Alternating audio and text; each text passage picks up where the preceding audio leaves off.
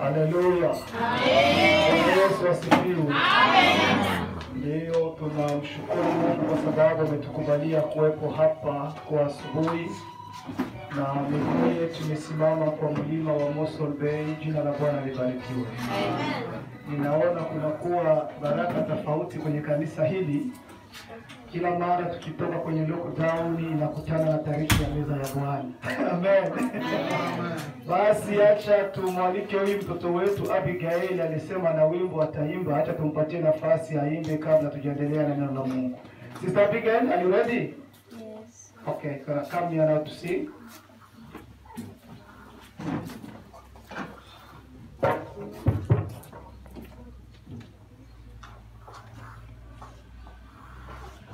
Hallelujah, Church of God. Amen. I'm going to sing you a song, Sowing in the Morning. Sowing in the morning, sowing seeds of kindness, sowing in the noontime and the dewy eve, waiting for the harvest and the time of reaping. We shall come rejoicing, bringing in the sheaves, bringing in the sheaves, bringing in the sheaves. We shall come rejoicing, bringing in the sheaves. Sowing in the sunshine, sowing in the shadows, fearing neither clouds nor winter's chilling breeze. By and by the harvest and the labor ended, we shall come rejoicing, bringing in the sheaves, bringing in the sheaves, bringing in the sheaves. We shall come rejoicing, bringing in the sheaves, bringing in the sheaves, bringing in the sheaves. We shall come rejoicing, bringing in the sheaves, bringing in the sheaves, bringing in the sheaves. We shall come rejoicing, bringing in the sheaves, bringing in the sheaves, bringing in the sheaves. We shall come rejoicing, bringing in the sheaves. Thank you very much. May the Lord bless you. Amen. Basi bila kukawia, acha tusome neno la Mungu. Umwambie mwenye kwa upande wako, utafuta fungu lililo jema. Hapana kumsikia, mwangalie, mwambie atafute. hata. tusome Injili iliyoandikwa na Luka mtakatifu Luka mtakatifu sura kumi na mstari wa makumi nne na moja hadi makumi nne na mbili na baadaye tutasoma Injili ya Yohana sura kumi na mbili na mstari wa pili hadi tatu. Tusome kwa jina la Yesu Kristo.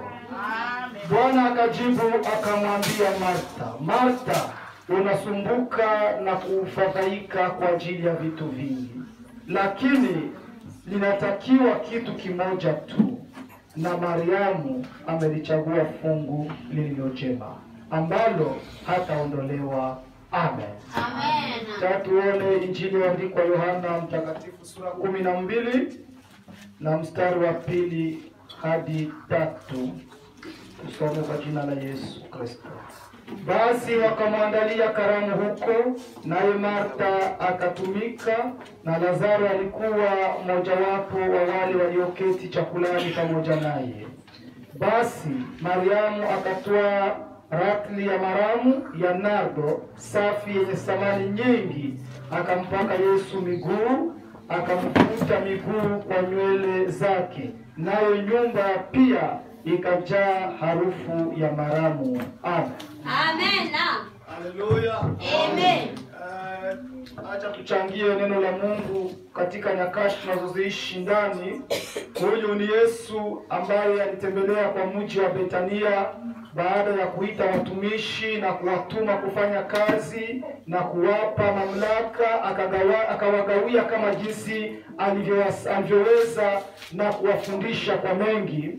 Alipoingia kwa mji wa Betania, Biblia inasema ya kwamba aliingia kwenye kijiji ambapo kulikuwa familia moja. Hiyo familia ilikuwa familia ya rafiki yake ya Yesu. Amen. Huko mafamilia zingine zinakuwa marafiki yake ya Yesu. Kuna familia zingine zinakuwa rafiki yake na Muririma na Nyangombe na Mugashanugulu na Kimbirigiti. na familia zingine zinakuwa marafiki ya hiyo mizimu, lakini hii familia ya Marta na Maria na kaka yao Lazaro walikuwa marafiki yake ya Yesu. Amen. Walimpenda Yesu na walimsikiliza Yesu, na Yesu alizoea kutembelea ndani ya nyumba yao sana. Mungu atusaidie. Na kila mara Yesu alipotembelea kwao, walijaribu kujiandaa kabisa, wakafanya, mnajua jinsi nyinyi wa mama na wengine mnavyoshughulia mnashughulikia wageni, mnapitapita kutafuta makul drink kwa Somalia, kama na machakula mtatayarisha, kwa sababu mgeni anafika. Na Yesu alipoingia ndani ya nyumba ya hao ya hii familia eh, walimuona mgeni maalum sana kabisa kabisa. Mungu akusaidie. Na katika wasomi wa Biblia ilionekana kwamba huyu Martha alikuwa kama ndiye mkubwa kwa wote, na alijaribu sana kushughulika kwa mambo ya jiko, kwa mambo ya kuandalia wageni, ya kupokea wageni, watakula nini, watalala wapi, wataikaa wapi. Mungu atusaidie. Martha alifanya alizoea kufanya hiyo, lakini siku hii eh, Yesu alipoingia ndani ya nyumba yao, na Biblia inasema ya kwamba Mariamu Mariamu akakimbia akakwenda akaikaa karibu na Yesu. Biblia inasema akaikala mumigulu ya Yesu, na hapo alipokaa akaanza kusikiliza maneno Yesu alikuwa anazungumza, kwa sababu mara kwa mara alikuwa akiingia mule mnyumba yao, alikuwa anawafundisha, anawazungumza mambo mengi kuhusu ufalme wa Amen. Ndio maana ninyi Wakristo tunawaambia wakati mnapokea wageni mwa nyumba zenu, kitu ya kwanza mnawaombea Mungu hata wasiwaletee habari za watu wengine, isipokuwa waletee habari za ufalme wa mbingu. Amen.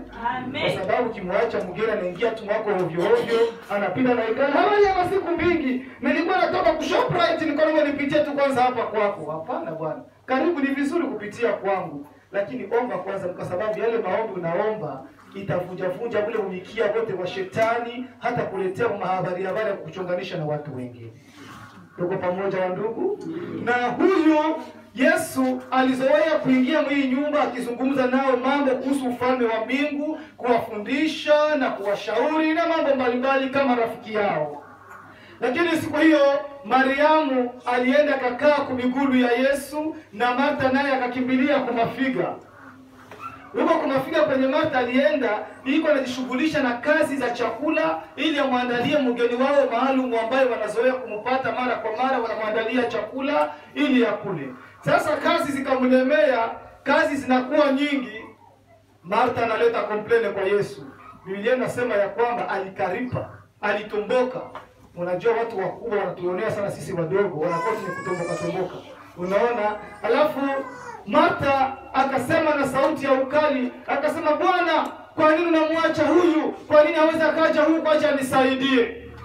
Mungu atusaidie. Alifanya nini? Alicomplain, alicomplain kwa sauti ya, ya ukali. Kwa nini unamwacha akae hapo asije kunisaidia huko mambo ya jiko? Na Yesu akamjibu akamwambia, sikiliza Martha, mbona unajishughulisha na kufadhaika na mambo mengi sana? Amen. Mbona unashughulika na kufadhaika na mambo mengi? Unafadhaika kwa ajili ya vitu vingi, lakini sikiliza Martha, kinachotakiwa ni kitu kimoja tu. Haleluya! Ni vitu vingapi vinahitajika? Randa za rent na nini nyingine mfriji hamuna kitu na nini nyingine, nguo yangu ngali kwa mtu Ulaya amaliza kushona. Unajishughulisha na vitu vingi, lakini inachotakiwa ni kitu kimoja tu. Mariamu amelichagua fungu lililo jema ambalo hataondolewa kama. Mungu atusaidie. Sasa nitaka niwaulize ni wa Kristo fungu hilo jema lenye hautaondolewa ni kitu gani? Ambayo Yesu alimwambia Martha, kusikiliza maneno ya Mungu. Mungu akubariki mwalimu. Mariamu, Mariamu amechagua fungu nzuri lililo jema, hakuna mtu ataweza kumwondoa nalo, kwa sababu amechagua kukaa karibu na Yesu, kusikiliza maneno ambayo Yesu yuko anazungumza. Na Biblia neno la Mungu nasema ya kwamba maneno yangu yakae kwa wingi ndani. Haleluya! Mariamu akayasikiliza fungu njema ambalo alikuwa amelichagua na hakuna mtu anaweza akamnyang'anya nayo. Kama maneno ya Mungu yanakuwa kwa wingi ndani mwako, hakuna mtu anaweza kubabaisha ovyo Amen. Hakuna mtu kama unajua neno la Mungu liko ndani mwako, hata mhubiri atoke wapi awaangushe mwe wote hapa, aweza akawashitua kitu, sivyo? Kwa sababu unajua neno la Mungu liko ndani yako. Watu waliokoka wanaokoka kwa neno la Mungu. Amen. Watu waliokoka wanajengwa kwa neno la Mungu. Watu waliokoka wanaishi kwa neno la Mungu. Ndivyo Yesu alimwambia shetani eti ya kwamba hatuishi kwa mikate. Amen. Hatuishi kwa chakula, lakini tunaishi kwa neno la Mungu. Kama neno la Mungu linakaa ndani mwako, linakufanya wewe kuwa strong katika hali ya imani. Amen. amen. Wakristo tuko pamoja. Ninaomba Mungu awasaidie wafungue kabisa masikio ya roho msikie vizuri kweli. Ninahitaji Roho Mtakatifu awafungue masikio ya roho msikie vizuri. Kama maneno ya Mungu inakaa ndani mwako kwa wingi, inakufanya wewe kuwa na imani, wala hauwezi ukajishughulisha na vitu vya mingi, hauwezi ukafadhaika na mambo mengi. Dunia ya leo watu wanafadhaika na mambo mengi, watu wanahangaika na vitu vingi ambavyo wanashindwa hata kukaa karibu na Yesu kusikia nini Yesu anasema. Mungu atusaidie sana. Kunakuwa mafadhaiko mengi ya maisha. Acha tusome kitabu cha Warumi e, barua ambayo Paulo ameandikia Warumi sura kumi na nne na mstari wa kumi na saba. Tusikie Biblia nasema nini hapo. Warumi sura kumi na nne na mstari wa kumi na saba hadi makumi mbili. Tusome kwa jina la Yesu Kristo.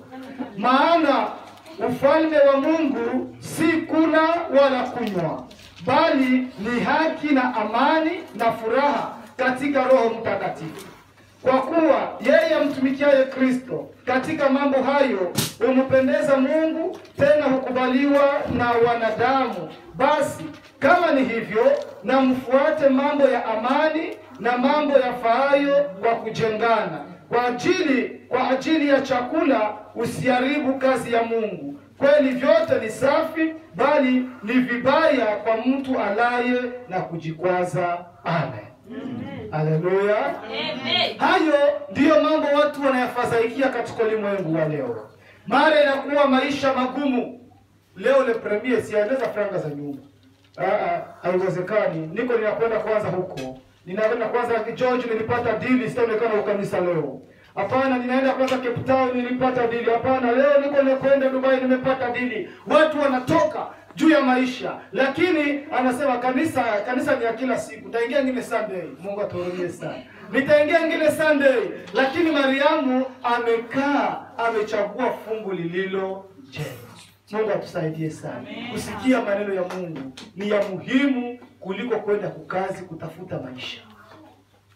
Tuko pamoja. Usiseme sasa pastor alisema tusiende kutumika tubakie sasa kanisa tushinde kanisa asubuhi mpaka usiku. Hapana. Lakini kwa muda unaokubaliwa na Mungu, umtie Mungu mbele, kazi zako na mambo yako ya maisha uyatie nyuma kwa sababu tunaishi kwa imani. Mungu, ninakwenda kukanisa kukuabudu. Haleluya. Ninakwenda kusikia maneno yako yanayosalia wewe Mungu nishughulikie. Unakwenda kanisa, unasikia neno la Mungu, unamwabudu Mungu pamoja na wengine. Kama ni huduma mbalimbali unaweza ukazifanya, alafu unaporudia Mungu lesi kutumika. Sasa kesho mwenye nyumba atakuya kesho sijui nitakula nini mfriji na kitu sasa ninahitaji nishughulikie. Haleluya! Utakuwa umeshagulia fungu lililo njema na hakuna mtu atakunyang'anya nalo. Utamsubiri mwenye nyumba kesho, hata hautamuona kesho yake, hautamuona atachunga mpaka siku nampigia simu, you can come now fetch your money I'm ready. Haleluya! Kumbe huku nyuma Mungu alimshegesha aseme hapana, kwenda kupatia ma stress hana franga bado hazijaingia. Haleluya! Hapana kufadhaika na mambo mengi ya maisha, chakula na utajiri. watu wana vinawafadhaisha sana, hata kumwabudu Mungu wanashindwa. Nitaenda hiyo kukazi leo, nitaenda hiyo kuomba Mungu na sina chakula, nitaenda kuomba Mungu na sina kwanza hata sabuni sina, hii nguo ndio nilivala leo dimashi, na hivi tena watanisema sisi sisi ambao tunauzisha manguo, mara nyingine tunacheka sana, unasikia wanawake wanasema sema eh, tunavalia manguo wapi? Oni corona pasta eh, hatutavalia eh, kumbe unataka kuvalia manguo kanisa Mungu atusaidie sana. Eh, unaona, lakini hiyo ni vitu ambavyo vinawafadhaisha watu, vinawakamata watu muda, kuwatoa karibu na utukufu wa Mungu, kuwatoa karibu na Kristo, alafu wakaenda wanarejearejea nyuma, na lile fungo lile njema watu wakalikosa, wakakuwa katika distrasio za maisha kama na hiyo watu wakaingia katika vitu vingi vya kutafuta vyeo na kutawala. Mimi nikuwa hivi, mimi nikuwa depute, mimi nikuwa nani, nikuwe nani, nikuwe nani. Watu wanahangaika katika ulimwengu na vitu vingi vingi vingi ambayo hawezi hata ukaelewa. Naba pastere, naba mwalimu anapenda kuwa depute, cheo ya mkanisa kwanza imtoshi, sio hivyo? Anapenda kuwa depute, anaenda mnakwaya, nitawauzia drumu, mtanivote. Anakwenda kwa mama, nitawauzia mauniforme, mtanivote. Mtumishi wa Mungu, mbona unajishughulisha na vitu vilivyo vingi? Mungu tusaidie sana.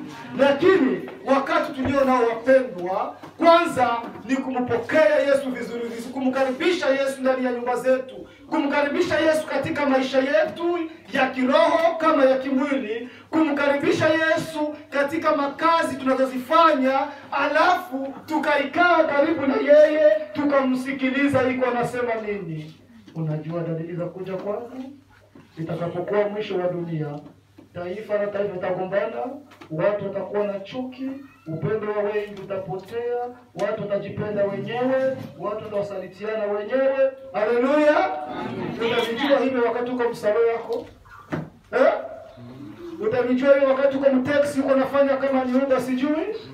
Utavijua hivyo wakati uko mshope eh, mwalimu, utavijua wakati uko mshope Hakuna hata yule hata yule Mwethiopia alisema, Bwana nitaelewa namna gani vitu kama na hivi. Anamwambia Filipo, nitavielewa namna gani kama mtu anieleweshi, kama mtu anitafsirii. Haleluya! Na ndipo alipata kuokoka, ku, kuepuka ghadhabu ya Mungu na akabatizwa. Hiyo, watumishi wenzangu wa Kristo, tusi angaike na kufadhaika na vitu vingi kwa ulimwengu wa leo na kwa nyakati ambazo tuko nazo, inatakiwa kitu kimoja tu enyewe, hakuna mtu anaweza akatunya- akatunyang'anya. Ni maneno ya Mungu yanahitaji kukaa ndani wetu kwa ulimwengu wa leo. Mungu atusaidie. Maneno ya Mungu Yesu ameyasema zamani, akasema kabisa na iko wazi, maneno yangu yakae kwa wingi ndani mwenu. Wakristo, Kristo huu ni wakati kila mtu kutafuta maneno ya Mungu kukaa kwa wingi ndani mwako. Leo mgani tungali tunacheza na malevo, mnamchukia Ramaphosa, mnamchukia Kisekedi, mnamchukia mazumbe na mileta, ni watu wabaya, lakini hiyo haitoshi. Usishtuke tena kesho wakaifunga tena, lakini neno la Mungu likiwa ndani yako, hai- hakuna kitu kitakuangaisha. Amen. Utasema hapana, tunavijua walituambia kwa mwisho wa dunia watu wataangaika wako neno la Mungu, sio hivyo? Hey, Ramaphosa atafunga leo, anafunga kesho, anafungula usiku, anafungula mchana, lakini watu wenye kuwa na maneno ya Mungu ndani mwao, amen. Watu ambao wamekaa karibu na Yesu, wako wanasikiliza wenye Yesu wanasema, wakajikana, wakaacha vyote vya dunia, duka zao wakafunga, kazi zao wakaacha, wakasema nakuwa muda mzuri wa kwenda concert, inakuwa muda mzuri wa kwenda kanisani kwa na wengine. Ndio maana Yesu alisema ya kwamba wakati unakuja Haleluya! Nasema wakati unakuja, Yesu anamwambia yule mwanamke Msamaria, hakutakuwa tena mtu ambaye atakwenda kuabudu huko Yerusalemu. Wakati unakuja, hakuna tena mtu atakuyaka hapa, itakuwa kama level 25 ya asijui, lakini Mungu yeye anajua. But is your time kukaa karibu na Yesu, kutafuta maneno ya Mungu. Mungu atusaidie sana. Na hii vinatupunguzia mwendo wa kumtafuta Yesu na ufalme wa Mungu, ugumu wa maisha, watu kuona vitu ambavyo vinavyoonekana ilifaa nitumike sana target zangu zipatikane, ilifaa nitumike sana nione kama ile nyumba nitaimalizia, ilifaa nitumike sana nione kama nami nitafanyia hivi, ilifaa nitumike sana nione. Watu wanajua, watu wanakaa katika hali ya mabudget, budget, budget, target yangu yaenea, target yaenea, na huku ndipo shetani iko na wapunguzia mwendo wa kiroho. Mtu alikuwa anaimba na furaha, lakini kuimba vinaisha. Mbona onekani tena mkwaya? Utaweza? Shughuli ziko nyingi. Nilitoka jana kukazi nyuma. Pastere, pastere, mbona unakuja saa nne? Na- wewe ndio kutangazia wewe bwana, wewe ulichelewa. Mwenyewe kwa sababu ulichelewa nini? Mungu awasamehe. Mwende kutangazia kwa Kristo kaza ibada masalia kila nyumba ulifika saa hii. Mnabidi mwalebe wa Kristo msamaha. Amen. Mnawasamehe. Hiyo yote mnawasamehe. Usikane mwako wa Kristo msamaha umechelewa. Mnihurumie kabisa. Njoo, njoo mwako wa Kristo msamaha. Haleluya kanisa. Msamehe na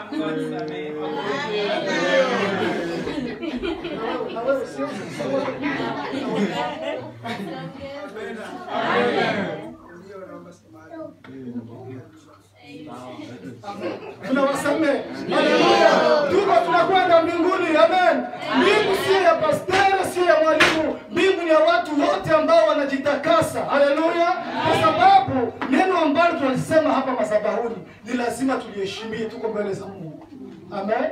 Sasa ukisema kama kanisa tutaanza saa nne, alafu unakuja saa nne just unatoka kwako sasa. Na- Unakutana Charlotte sha kupangia vitu. Unajua kinachoendelea hapa? Mm. Roho Mtakatifu peleka jina ya Charlotte na wewe mwalimu unakuja na kwetu unachelewa. Mbingu gani unakwenda? Hivyo vitu fulani fulani vinatupunguzia mwendo. Amen.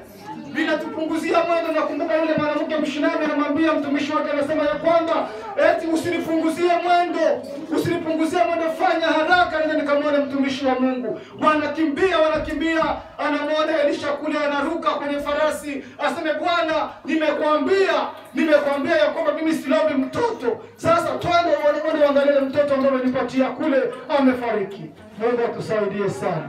Vitu maisha kama haya vitu vinatupunguzia mwendo katika maisha yetu ya kiroho. Tunasahau kitu kilichochema tunakitia nyuma. Nende kwanza kukazi, niende ukanisa baadaye. Niangalie kwanza TV Joshua, nikishamaliza nitakwenda nako kwa makile nako.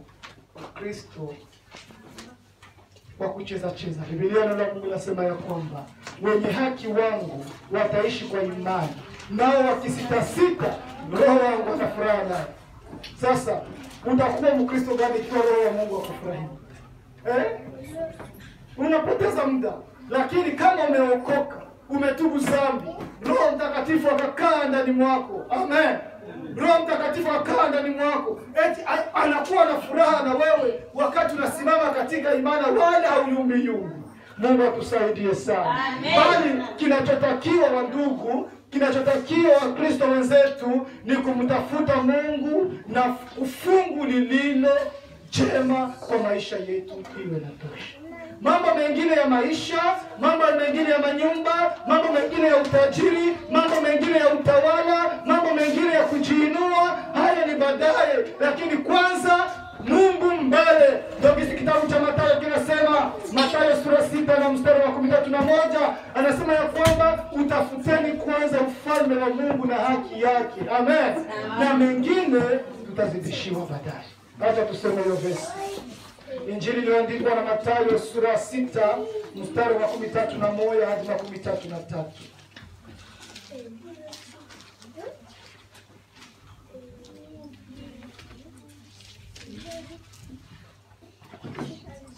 Tusome kwa jina la Yesu Kristo. Msisumbukie basi mkisema tule nini au tunywe nini au tuvae nini, kwa maana hayo yote mataifa huyatafuta, kwa sababu Baba yenu wa mbinguni anajua ya kuwa mnahitaji hayo yote. Bali utafuteni kwanza ufalme wake na haki yake, na hayo yote mtazidishiwa. Amen. Haleluya. Tutafute kwanza ufalme wa Mungu wa Kristo. Ikiwa ni wakati wa ibada, ujisikie furaha, usisirike. Funga funga business yako, nasema umetutangazia leo kuna ibada, ninakwenda kumwabudu Mungu. Amen.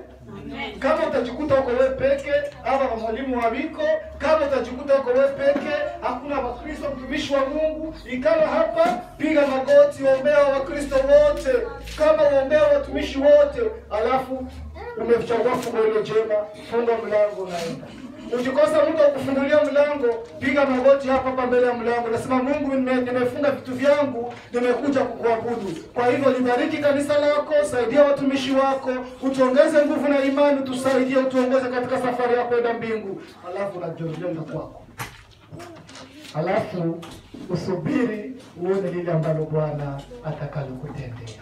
Amen. Tuko pamoja wa Kristo. Lakini ulitangaza ibada leo, ulitangaza home sale.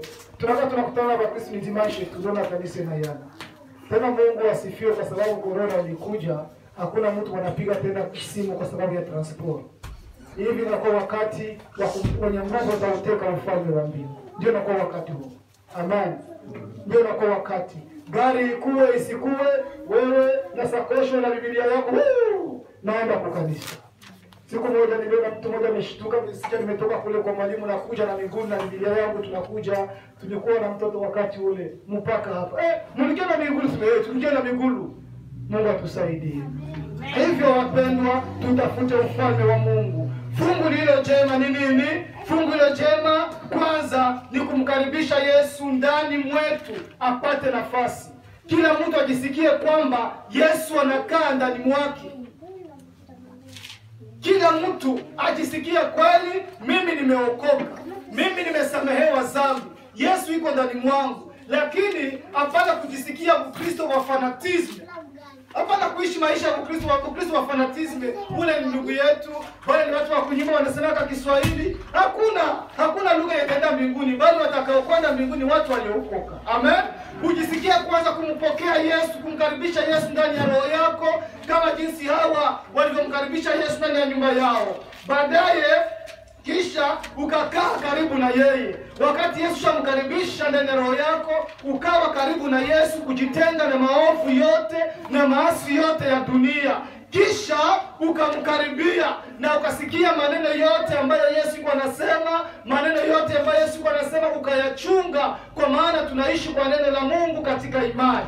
Mungu atusaidie sana kusikiliza maneno yake, nayo yakakaa ndani mwetu, kuacha shughuli zetu zote kwa kusikiliza Yesu, kama jinsi Mariamu na wanafunzi wa Yesu walivyokuwa.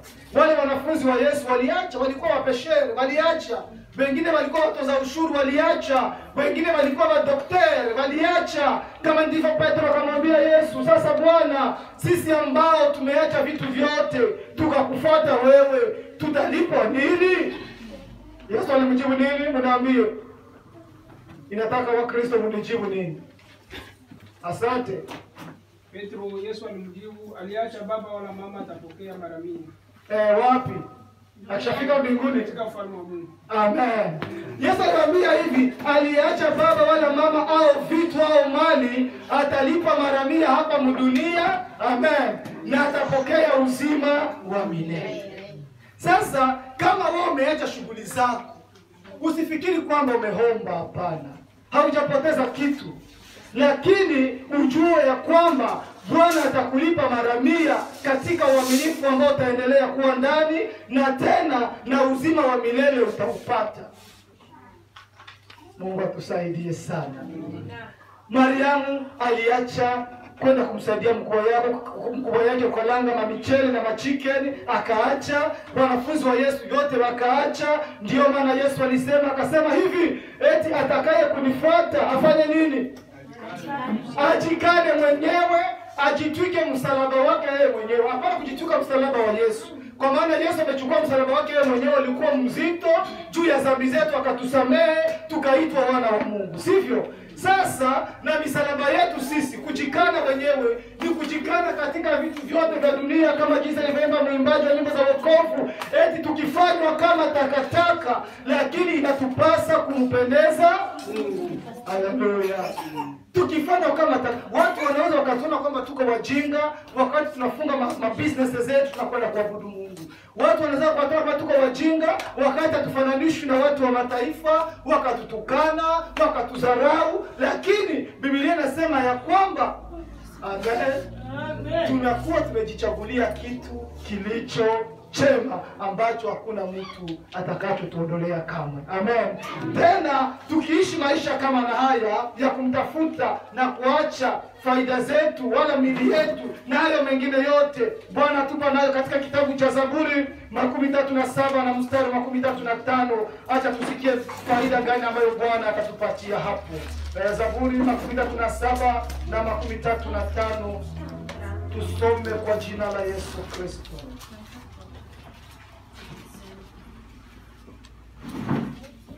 Eh, 37 25 usisome kwa jina la Yesu Kristo.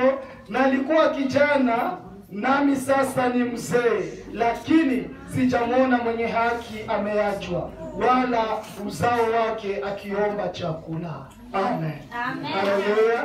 Sasa kama wewe umeacha vyote kama wewe umeacha biashara vyako, umeacha mabiznesi yako, ukakwenda kuwa msele jioni, ukakwenda kanisani kumaombi usiku, eti ya kwamba Mungu hawezi akakuacha, wala mnyumba hawatakufukuza, wala njaa hautalala njaa, wala watoto wako hawatakuwa wamaiburu wa kulombalomba mikate, please give me 50 cents, give me no Amen. Kwa sababu wewe unakuwa mwenye haki, unafanya yanayompendeza Mungu. Mungu atusaidie sana. E, pale kwa mstari wa nne wa tatu na saba anasema nawe utajifurahisha kwa Bwana, naye atakupa haja za moyo wako. Umkabidhi Bwana njia yako, pia mtumaini, naye atafanya. Amen. Wewe mkabidhi Bwana mambo yako yote lakini usikose ibada za kanisa, usikose programu za kanisa, usikose katika kila mpango wote kwa ajili ya Mungu, kama ni hapa kanisani, kama ni mialiko ya kwenda kufanya kazi ya Mungu sehemu kwa ruhusa. Biblia inasema ya kwamba usiyekatae kwenda kwa sababu ya hiki na hiki, lakini wewe nenda tu. Amen. Wewe nenda na Mungu, yeye atakushughulikia. Wewe mkabidhi, umfurahishe Bwana, ufurahie kuwa mkazi ya Mungu, ufurahie kuwa kumaombi siku ya posho, ufurahie kuwa kumaombi siku ya pili ya wamama wengine, ufurahie kusanyika na vijana wengine, ufurahie muda wowote ambao unaruhusiwa kwa ibada. Ninyi hapa kwenu mwalimu kidogo, Mungu wenu kwa sababu ninaona baadhi yenu kila mtu anatumika kazi yake binafsi, tena wengine mnatumika na Wakristo, hakuna mweza kuzuia mtu mwingine. Lakini sehemu nyingine utakutana ambao wanatumika wanatumikia Wahindi ama wazungu waliishi Dirba, wanajua hiyo kusema wampatie muda wa kwenda kukanisa kama sasa za kazi zaisha ni vigumu sana, na wao lakini wanajitahidi. Nimeona kwa Dirba hata na Bloemfontein na Pretoria kwa mida ya ibada jioni, utakutana Wakristo wanajaa kanisani, wengine wanakuja wanatembea. Utakutana ni vajeni garso ni vajeni fie, jinsi bako wanajitoa mbele za Mungu, wanapiga mapendo. Ukiwauliza unafanya kazi gani, natutaka Muhindi. Wewe mimi napiga kama msalo, nishafunga tanti na kila kibeti cha kanisa. Mungu atusaidie sana. Sasa hapo unauliza ile saloni yana yako Eh, wewe boss ile saloni eh, na ulishinda kwa kanisa eh, unajua tena unajua nini isipokuwa shetani alikufunga eh? Alafu unakwenda kwa mwingine eh, ile ni gari ya nani? Ni gari yangu. Unafanya kazi kanafanya kazi ya Uber eh? na ulishinda kwa kanisa eh, nilichinda ni wewe ngoja tafuta franga ya target kuliko Mungu. Mungu aturudie sana. Haleluya. Bila vitu kama unatazama katika hali ya kiroho, unaona ni vitu vinapoteza. Wakristo wengi wanarudi nyuma kwa sababu wanatia maisha mbele. Lakini kitabu cha Zaburi ya makumi tatu na saba sura inasema ya kwamba wewe ujifurahishe kwa Bwana, usijifurahishe kwa tamaa ya nafsi yako mwenyewe, ujifurahishe kwanza kuwa kwa Bwana, kama jinsi alivyosema Daudi, na nilifurahi kuwepo nyumbani mwa Bwana. Amen. Na nilifurahi waliponiambia leo kuko maombi, na nilifurahi waliponiambia leo kuko ibada, na nilifurahi waliponiambia leo kuko practice ya kwaya, na nilifurahi. Wewe ujifurahishe, alafu mkabidhi Bwana njia yako, hiyo matageti yako, hiyo mafranga za renti na machakula, hiyo manguo na mamisaada kusaidia watu wako nyumbani, umkabidhi navyo Mungu, yeye atakushughulikia, wala hata hata wewe mwenye haki wake upate hata katika mji huu. Tuko pamoja wa Kristo. Mungu atusaidie. Kwa hiyo basi, acha tumalize tuombe. Mungu, usisumbuke na kufadhaika kwa ajili ya vitu vingi. Amen. Ujitahidi sana kuacha ibada, usiache ibada, lakini ufungu, utafute fungu lililo jema. Hakuna mtu anaweza na naye. Fungu lililo jema ni mtu kumtafuta Mungu. Biblia inasema ya kwamba mtafuteni Bwana maadamu anapatikana. Huu wakati tuko nao ni wakati wa kumtafuta Bwana, ni wakati wa kutafuta uso wa Mungu. Amen. Kweli hatuyakwenda mbinguni, tuko na mahitaji mengi ya maisha ya yatusumbua, mashule za watoto, mavazi, chakula na mambo mengi sana, lakini hayo yote yasitutoe karibu na Mungu. Mungu atusaidie tujitahidi kutafuta fungu lililo jema. Kuna wengine wanafunga shughuli zao, wengine wakawacheka eh, eh, leo leo premier anafunga salo niko sasa ushapata franga ya rent bwana, siyapata leo wakuenda kwa restaurant, hapana, naenda kanisa. Watu wengine wanaona kama waelezi akili Watu wengine wanaona kama wanafungukiwa, lakini sivyo. Wanajua kitu ambacho walichopokea na wanajua kitu ambacho wako wanatafuta. Eh, sio wajinga, hapana, hawa hawapotezi kitu wala waombi kitu, lakini Mungu anawatarishia kitu kilicho jema. Hakuna mtu atakayemwondolea, ni kitu kilicho chema linalotakiwa wapendwa, kwa ulimwengu tunaishi. Acha tumalize tuombe Mungu. Kwa ulimwengu tunaishi sasa, linalotakiwa ni kutafuta fungu lililo jema. Amen. Hapana kum- hapana kumshutumu Ramaphosa nitufungia makanisa na wewe kanisa kufika. Siku anafungula kanisa hautaonekana, lakini unaanza kumshutumu, acha yule bwana ni satanist, yule bwana yuko hivi. Wewe bwana utakwenda kumlomba msamaha, wewe utapata njia kwenda kumlomba msamaha. Mbona ulifungula kanisa na ukuonekana? Eh? Utakwenda kumlomba msamaha. Mungu akusaidie sana Inatakiwa utafute fungu lililo jema, kwa maana Bwana wetu anakuja, Yesu anakuja. Amen, atukutane tunajaa na vitu vilivyo jema, na hakuna mtu atatunyang'anya navyo. Watu ambao wamekuwa na fungu hilo njema hawajali na malockdown. Lockdown ifikue, wao maisha ya kiroho inaendelea tu kama kawaida. Haleluya, maisha ya kiroho inaendelea tu wafunge makanisa hakuna. Kulikuwa huko kwetu, kulikuwa sehemu moja tulikuwa tunakwenda huko Cape Town, Muizenberg. Kulikuwa sehemu moja kwenye mlima tulikuwa tunakwenda kuomba Mungu huko, alafu wa- wa- watu wengi watu wa- walikuwa wanakwenda, lakini watu wa mataifa waliona kumbe ile maombi iko na waharibia, wakaita polisi. Ile sehemu ikafungwa, polisi ya kuruhusu na watu kupanda huko juu mlimani, lakini haikuzuia watu wasiombe Mungu. Amen haikuzuia na ndiyo hii yenye tunaishi ndani. Hata makanisa ifungwe, madhehebu zifungwe, lakini tunajua maneno ya Mungu inakaa kwa wingi na mwetu, tunakuwa na kitu kilicho chema. Hakuna mtu anaweza katuondolea, hata wafunge makanisa, watu wasiimbe, lakini tunajua kitu kilicho chema kiko ndani mwetu, na Bwana wetu Yesu Kristo yuko mlangoni kuja kutuchukua, twende tumulaki mawingu. Ujiandae. Amen. Ujiandae mpendwa. Hivyo ndugu, acha kujichanganya na mambo mengi mengi mengi na maisha, umtafute Bwana Yesu Kristo. Kama uko tayari kusema mimi nahitaji fungu lililo njema Afrika tuombe Mungu. Sema mimi niko tayari, nahitaji fungu lililo njema. Ninafadhaika na vitu vya mingi sana, nahitaji fungu lililo njema. Njoo kwa Yesu tuombe pamoja, hata Mungu akusaidie.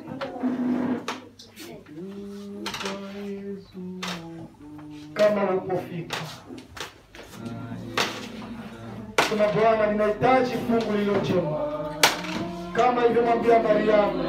Amechagua fungu lililo jema, alimjibu Martha, amechagua fungu lililo jema. Je, una fungu lililo jema au bado unalihitaji? Je, unafadhaika na vitu vingi? Kama ulipofika, tuombe mara pamoja.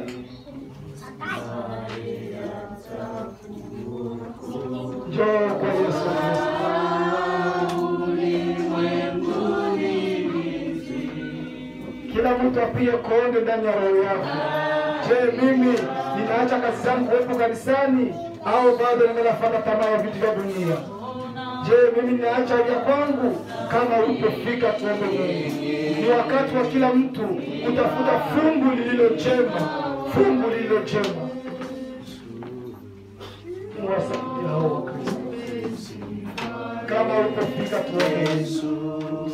Kuna vitu vingi vinawafunga watu wengi, vinawarudisha nyuma katika imani, wanajitenga na uso wa Mungu. Njoo kwa Yesu Sema Bwana, mimi nahitaji fungu lililo jema. Sitaki mtu aniondolee kitu kilichokuwa ndani mwangu ama kitakachoingia ndani mwangu. Njoo kwa Yesu Kristo.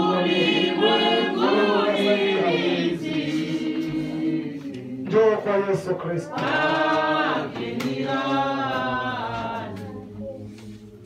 Nani mwingine?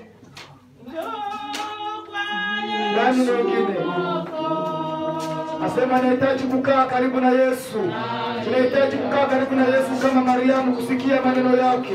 Tunahitaji kukaa karibu na Yesu, kusikiliza mashauri yake. Tunahitaji kukaa karibu na Yesu, kusikia mausia yake kama alivyokaa Mariamu.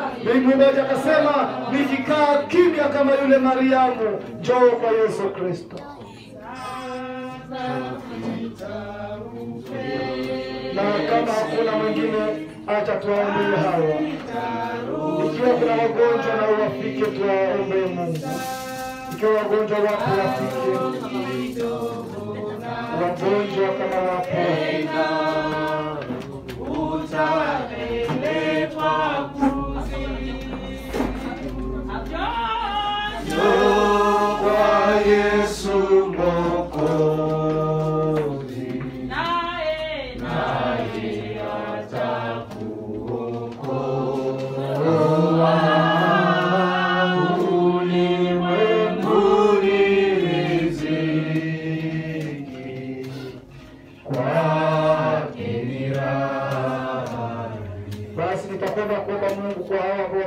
Kukaa karibu na Yesu kama Mariamu, na baadaye mwalimu Makile atawaombea wagonjwa wenye kuwa hapa tayari.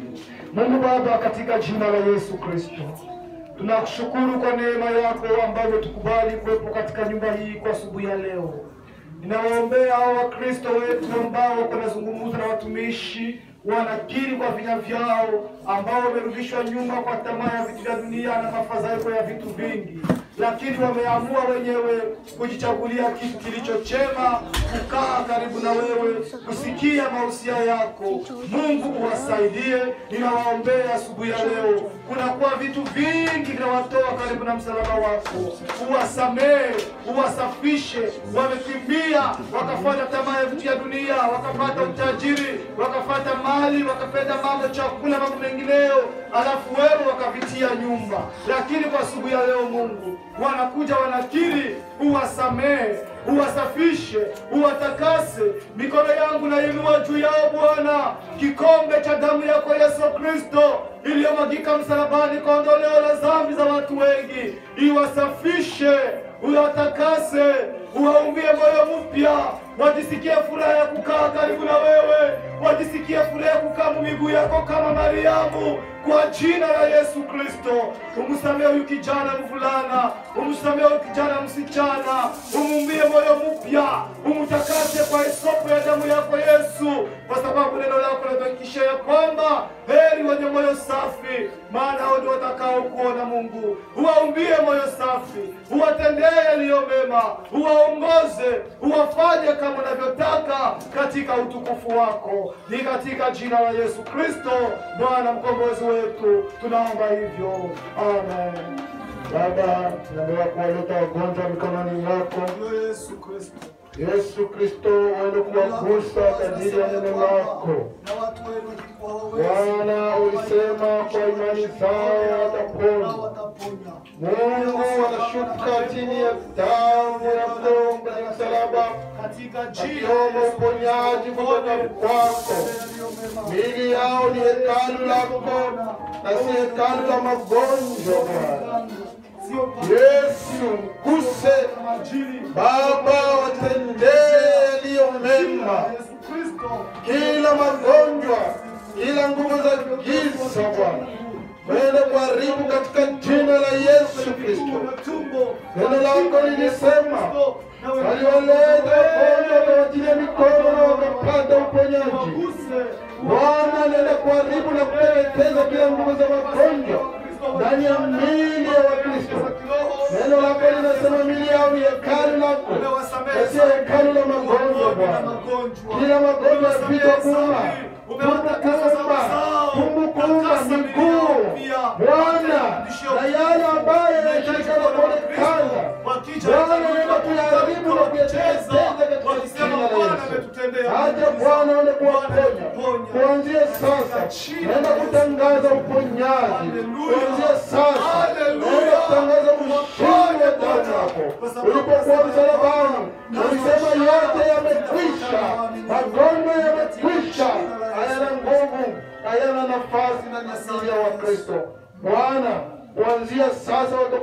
Watokapo Yesu Kristo, wao wamepokea uponyaji.